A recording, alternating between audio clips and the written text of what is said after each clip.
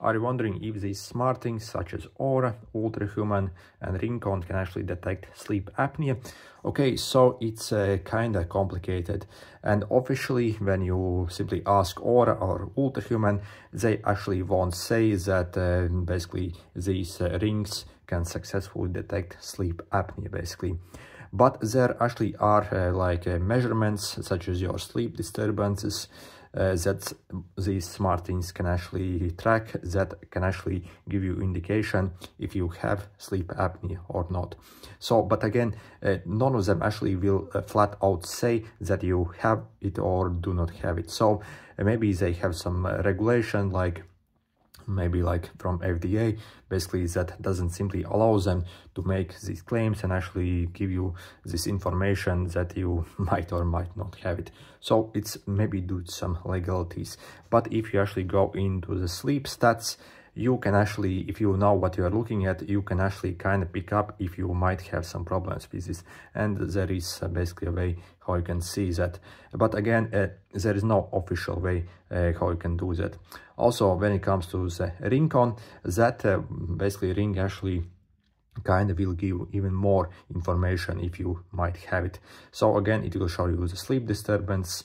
Maybe out of all of these three, it would be the most easiest to see it on the RingConn from what I have uh, seen and even if you check the RingConn app there is a place that uh, basically uh, like talks about the sleep apnea and basically shows that you might have it or not have it.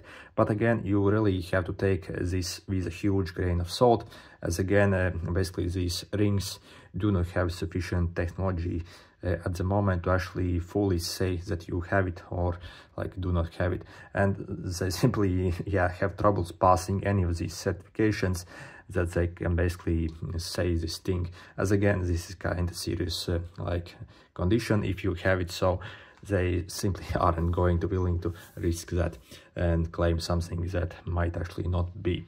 Uh, when it comes to the all other uh, health features, again, they actually have very good sleep tracking. They can detect your pulse, heart rate, SpO2, and also temperature maybe if you uh, want to do some cycle tracking again this is very useful for you.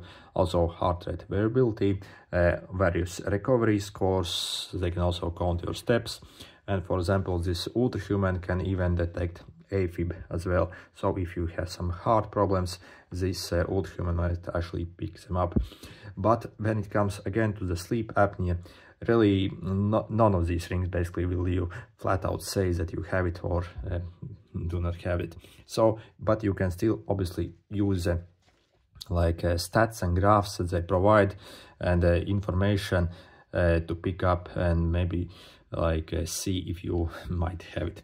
Uh, when when again basically comes to all these rings out of all of them i would probably go for the Ultrahuman as they do not actually have any subscriptions on the Oura. You literally have to pay like 70 euros or dollars per year, which is kind of ridiculous. Also, all the colors on the Ultrahuman are the same really. When it comes to the health tracking features, I think the Oura and Ultrahuman uh, I think are the most advanced really. And again, the uh, Ultrahuman can detect your AFib as well, and the step counter also is better on the Ultrahuman. So it uh, provides the most bang for a buck probably when it comes to the price, uh, no subscriptions, and all the features that you get. Anyway, good luck.